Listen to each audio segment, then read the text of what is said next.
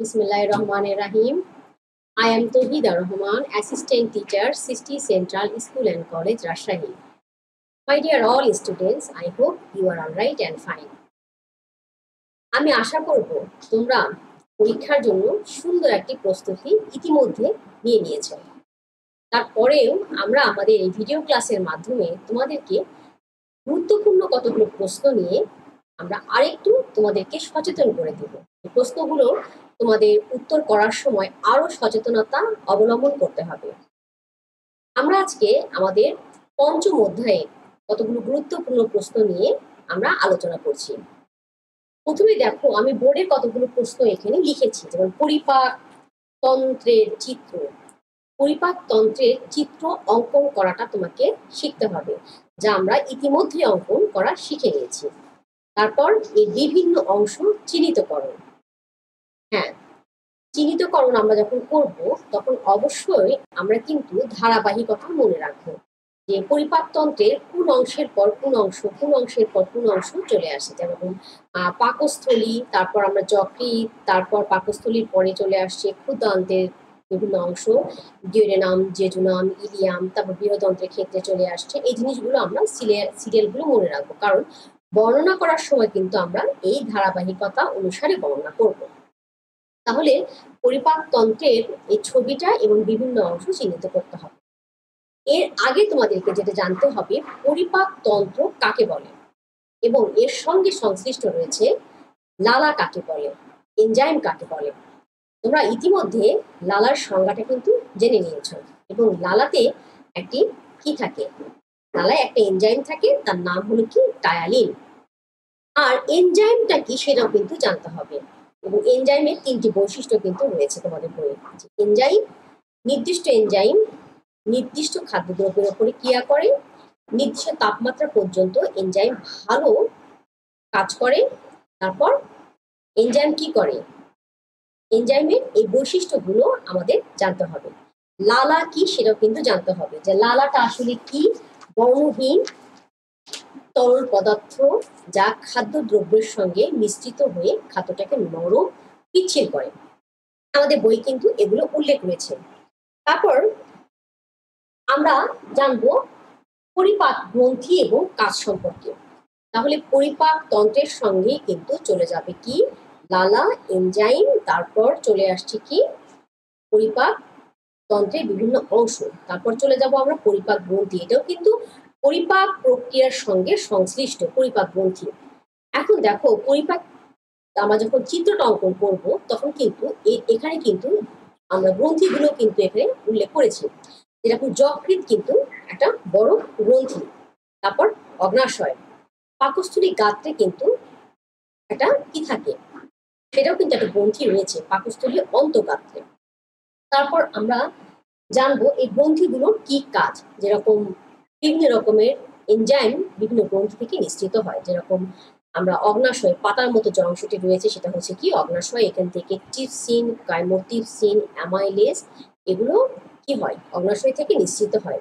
আর যকৃত থেকে যকৃতে থাকে পিত্তথলি, সেখান থেকে পিত্ত রস ডিওডেনাম অংশে চলে আসে এবং ডিওডেনাম অংশে কিন্তু পরিপাকের মূল কাজটা কিন্তু সম্পূর্ণ হয়।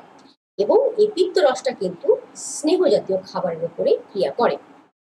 আচ্ছা তাহলে আমরা পরিপাক গ্রন্থি সম্পর্কে আমরা জানলাম, তারপরে আমরা আরও জানব। পরিপাক গ্রন্থির পরে কিন্তু আরও কয়েকটি গ্রন্থি এখানে কিন্তু আছে, যেমন যকৃতের পরে আন্তিক গ্রন্থি একটা কথা কিন্তু আমাদের পরিপাক গ্রন্থির মধ্যে সংশ্লিষ্ট রয়েছে, যে ক্ষুদ্রান্তের প্রাচীরে ভিলাসে প্রচুর পরিমাণে আন্তিক গ্রন্থি কিন্তু থাকে। ক্ষুদ্রান্তের প্রাচীরে ভিলাসে প্রচুর পরিমাণে আন্তিক গ্রন্থি থাকে।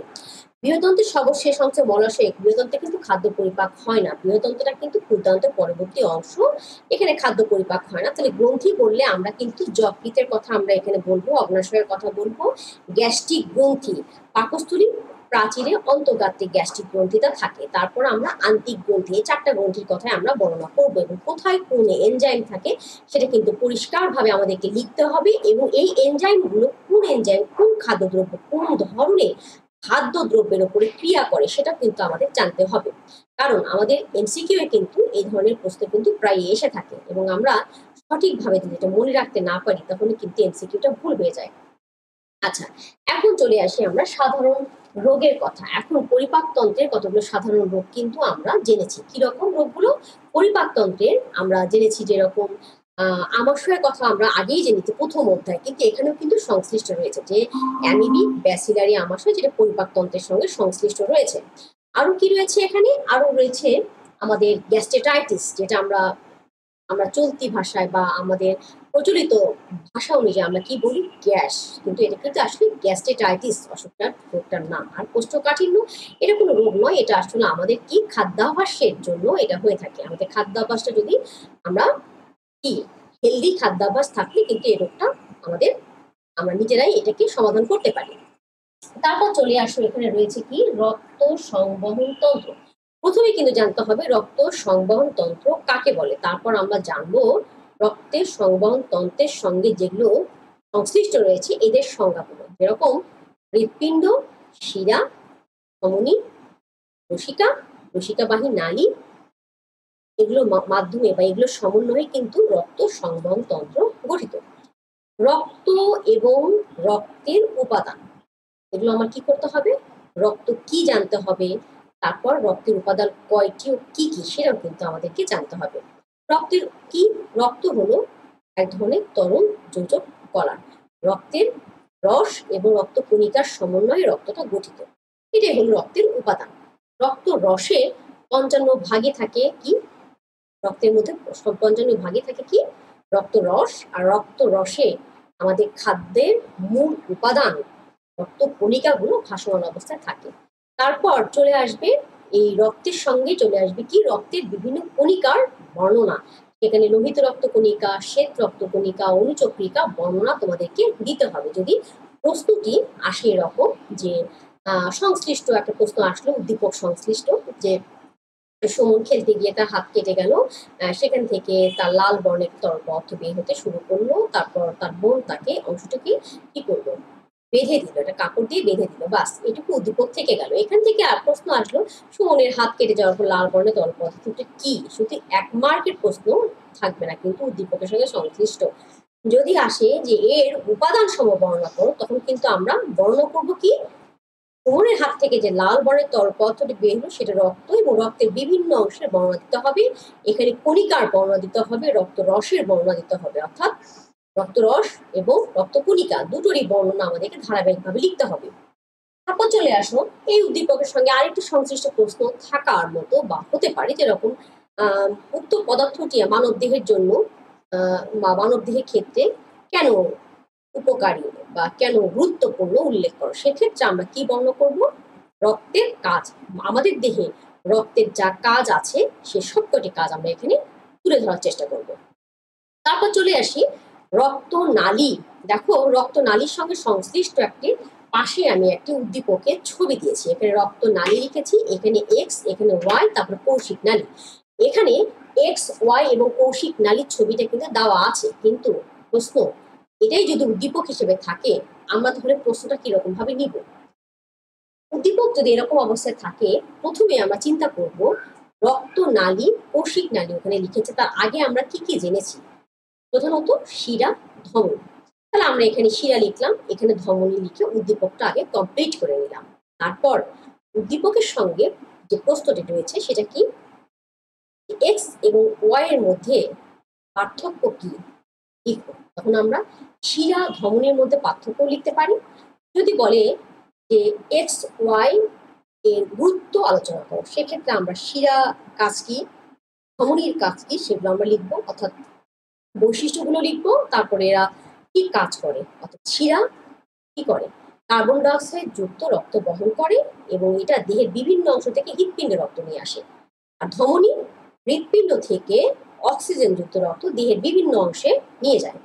আচ্ছা এগুলো আমরা বর্ণ করব। এরকম ভাবে প্রশ্ন ঠিক যেভাবে আসবে, আমরা সেরকম ভাবে অ্যান্সারগুলো কমপ্লিট করব। তারপর চলে আসি, পরবর্তী যে অংশটা রয়েছে, হৃৎপিণ্ডের চিত্র। তোমরা কিন্তু অলরেডি কিন্তু ছবিটা কিন্তু অঙ্কন করা শিখে গেছো। আমরা লাইভ ক্লাসও অঙ্কন করেছি এটা।